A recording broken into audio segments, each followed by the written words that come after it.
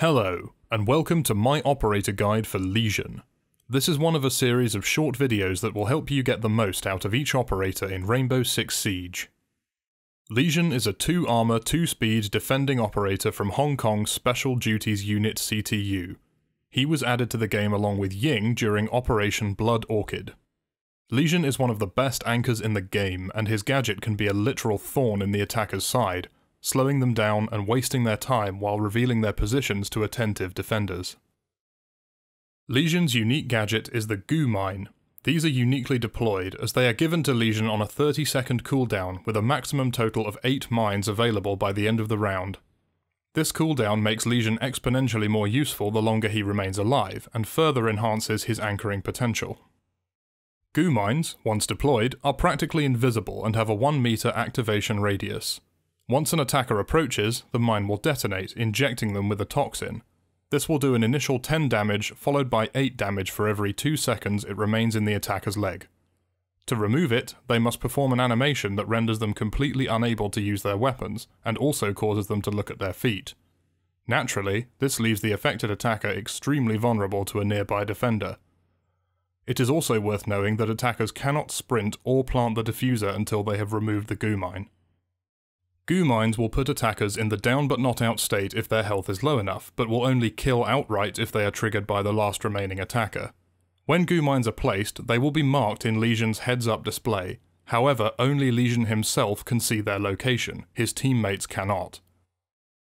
This allows Lesion to identify which goo mine has been triggered based on which icon disappears from his HUD.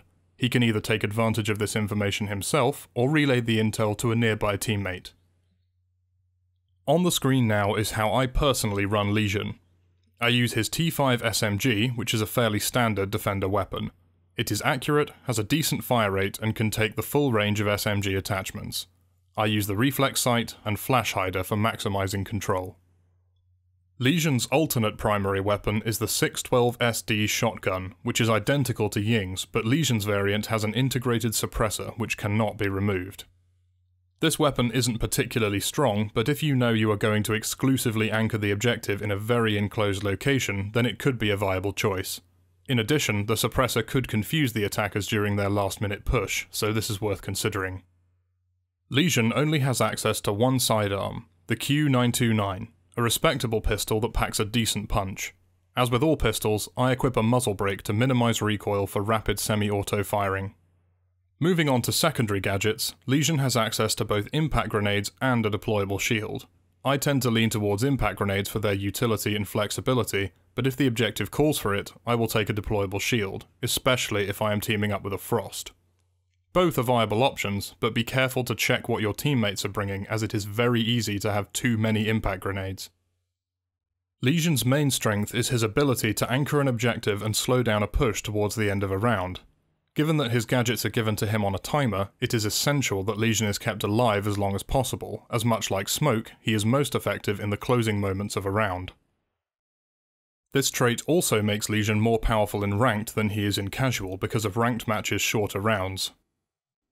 When I am playing Lesion, I like to place my goo mines in key choke points where enemies are likely to go.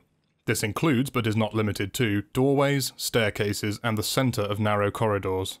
You should focus on placing the mines around the objective with the intention of slowing down the attackers and making them as vulnerable as possible when approaching the objective. When placing mines in doorways, you can either place them in the very centre, which will ensure that they will trigger, but risk being easily noticed by drones. You could try placing the mines inside the doorway and a little off to the side to further conceal them, particularly from Twitch's shock drone. For corridors, I tend to place goo mines in areas where the attacker will be most vulnerable, Try to pick areas that will have high footfall but are furthest from cover. Since the affected attacker will be unable to sprint, they will need to cover a larger distance while taking damage before removing the needle, giving you more time to move in for the kill if you happen to be nearby. For staircases, the same mentality applies. If you are defending upstairs, you should place a mine at the top of the stairs so that the attacker must either go all the way down or risk pushing too close to a lurking defender. Alternatively, you could place a mine halfway up a staircase so the attacker will be caught in the middle, unable to sprint up or down to safety. If you choose to anchor with Lesion, try and place as many mines as you can around the area that you are defending, so you will always be alerted to enemy presence and you won't be caught off guard. The sound cues and notifications will also be useful in determining where attackers are pushing from, and if Lesion notices that a nearby mine has been triggered, he can quickly take down the attacker in question. You can focus on this strategy exclusively if you wish, and effectively camp a doorway or staircase and wait for the mine to trigger. Finally, Lesion can be used as a roamer. He is well suited to this task as he is not a bulky 3 armor operator and his gadgets can be deployed to cover his back while flanking. However, he is not a silent 3-speed operator either, and his gadgets do make a hissing sound when deployed, which could give his position away. Additionally, as I mentioned earlier, Lesion is best kept alive to be most effective, so I would only recommend roaming with Lesion if you have no other roamers on your team. Lesion's versatility and broad map coverage make him a very strong solo queue operator as his traps can benefit the whole team by providing intel in the form of sound cues and do not necessarily require Lesion to communicate with his teammates. Lesion only has one operator who can directly benefit from pairing with his gadget, and that is Frost.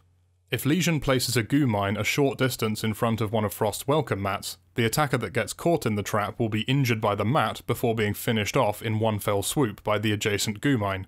This does require practice to pull off and will almost never happen, but it can be a useful way of getting an instant kill at a crucial moment.